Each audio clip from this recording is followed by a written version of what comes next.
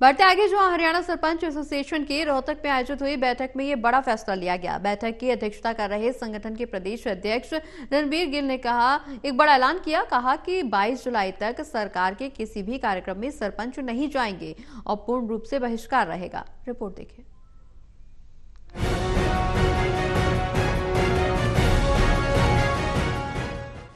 Sarpanch association की रोहतक में आयोजित हुई बैठक में बड़ा फैसला ले लिया गया। बैठक की अध्यक्षता कर रहे संगठन के प्रदेश अध्यक्ष रणबीर गिल ने एक बड़ा ऐलान किया। उन्होंने कहा है कि 22 जुलाई तक सरकार के किसी भी कार्यक्रम में सरपंच नहीं जाएँगे और पूर्ण रूप से बहिष्कार रहेगा। अगर 22 जुलाई तक हरियाणा सरकार सरपंच एसोसिएशन को बुलाकर उनके अधिकारों के बारे में बात नहीं करती तो पच्चीस जुलाई को हरियाणा सरपंच एसोसिएशन बड़े आंदोलन का ऐलान कर देगा।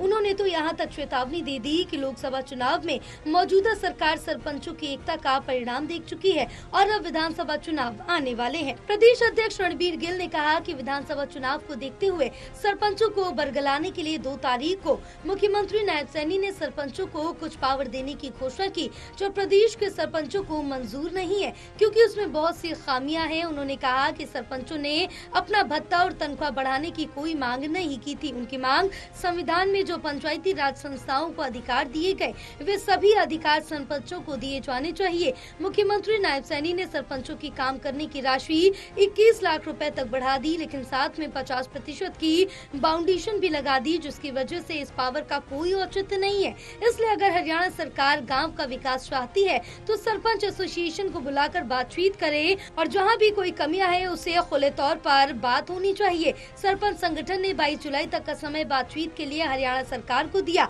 अन्यथा 25 जुलाई को सरपंच एसोसिएशन बड़े आंदोलन का ऐलान कर देगी। आज स्टेट की बैठक बुलाने का हमारा मुद्दा था, जो मौजूदा सरकार, सत्रह महीने से हम लोग अपने अधिकारों की लड़ाई लड़ रहे हैं। सरकार अधिकार देने की बजाय बार बार पंचायतों के साथ एक भद्दा मज़ाक करने का काम कर रही है। जो दो तारीख को इन लोगों ने घोषणा की थी भाई हम पंचायतों को ये, कि ये पावर करेंगे, वो पावर करेंगे, सरकार ने चुनाव के टाइम पे जुमला देने का काम किया है। जो सरकार ने लिमिट बढ़ाने का काम किया है और 50 परसेंट की जो बाउंडेशन लगाई हुई है। हमारा कोई भी साथी, पूरे हरियाणा की पंचायतें, इस बात से बिल्कुल भी सहमत नहीं है, क्योंकि बाउंडेशन जब तक रहेगी, तब तक लिमिट का कोई महत्व ही नहीं है। रणबीर गिल ने कहा है कि 22 जुलाई तक हरियाणा सरकार के सभी कार्यक्रम का बहिष्कार रहेगा। उन्होंने कहा कि लोकसभा चुनाव में सरकार सरपंचों की एकता देख चुकी है। अब हरियाणा के विधानसभा चुनाव आने वाले हैं। सरपंच अब किसी भी बहकावे में आने वाले नहीं है। मुख्यमंत्री की घोषणाओं पर पीठ थपथपाने के लिए कार्यक्रम किए जा रहे इन कार्यक्रमों में सरपंच नहीं, बीजेपी के कार्यकर्ता ही दिखाई दे रहे हैं। प्रदेश अध्यक्ष ने चैलेंज करते हुए कहा की हरियाणा सरकार आई कार्ड के साथ दस ऐसी पंद्रह प्रतिशत सरपंच सरपंचों को कार्यक्रम में बुलाकर दिखा दे वे मान जाएँगे। Special desk total news.